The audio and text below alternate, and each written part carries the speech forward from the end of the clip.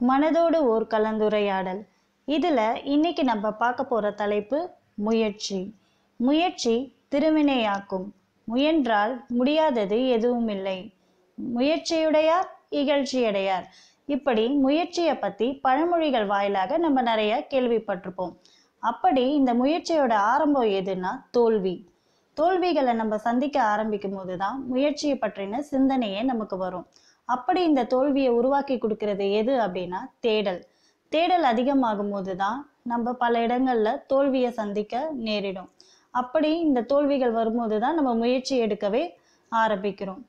இந்த தேடல் எப்படி வருது அப்படின்னா நம்ம எதையாவது சாதிக்கணும் அப்படிங்கிற அந்த எண்ணம் தான் ஸோ சாதிக்கணுன்ற எண்ணம் இருக்கும்போது தான் தேடல் அதிகமாகுது. தேடல் அதிகமாகும் போது தான் தோல்விகள் வருது.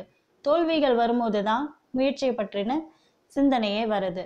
இப்படி இந்த முயற்சியை வந்து ஃபீனிக்ஸ் பறவையோட நம்ம ஒப்பிட்டு பார்க்கும்போது ஃபீனிக்ஸ் பறவையோட காலகட்டங்கள் பார்த்தீங்கன்னா ஐநூறு வருஷம்.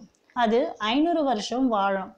அதுக்கப்புறம் தன்னை தானே சாம்பல் ஆக்கிக்கிட்டு மீண்டும் உயிர் பெற்று திரும்பி வரும். அதுக்கு ரெக்கைகள் முளைக்க ஆரம்பிச்ச அப்புறமா மறுபடியும் சூரியனை போய் தொட முயற்சிக்கும்.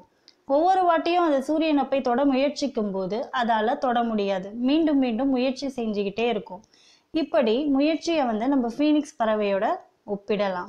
ஒவ்வொரு வாட்டியும் நம்ம தோல்விகளை சந்திக்கும் போது ஃபீனிக்ஸ் பறவையை ஞாபகப்படுத்தி பார்த்தீங்கன்னா கண்டிப்பாக முயற்சி பண்ணணுன்ற எண்ணம் வரும். நன்றி.